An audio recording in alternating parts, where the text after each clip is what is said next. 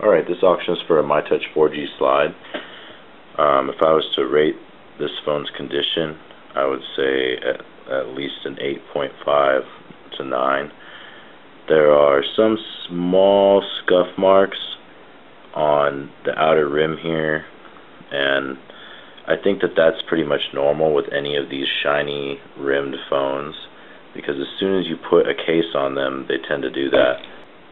Phone has always been kept in a case. Um, there are some minor scratches around the phone here or there. Uh, not sure if you can see on here there's one small scuff mark. Uh, let's see where, let me find it real quick here. Um, it looks like right here there's a small sc uh, scratch here.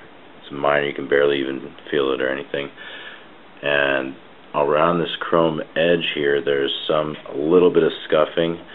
Um, that's just from the case itself. The case itself actually does that to these phones. Now the keyboard here is in really really good shape really nice. Um, I don't see any damage or anything to the keyboard.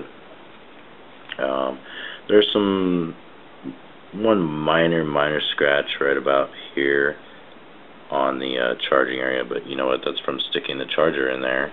Alright, this phone has a white sticker there for the moisture detection, um, as well as the battery here has a white sticker, so we know that this phone has had no moisture contact. The screen on this phone has always had a screen protector on it. Uh, I can guarantee you that you would not find any scratches on this phone, because the day I bought it, I put a screen protector on there, and it's been replaced periodically to make sure that there was no damage done to the actual screen.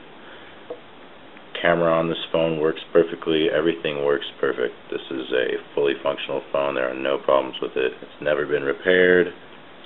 Um, just selling it because I use a different phone now. Alright, now aside from this phone being rooted and having ice cream sandwich installed in it, it's also going to come with the expensive D3O case that T-Mobile sells and this case, is in pretty good condition here.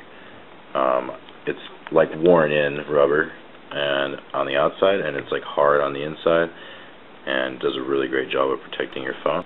Okay, so to sum it up, this thing comes with the box, the manuals, the original charger and USB, um, a headset, and the phone I would say is definitely in like at least 8.5 to 9 condition. The only major scratch or anything I could see is this right here. And um, that's pretty much it. Thanks for looking at my auction. If you have any questions, feel free to contact me. I'll be happy to answer your questions within 24 hours. Thanks again.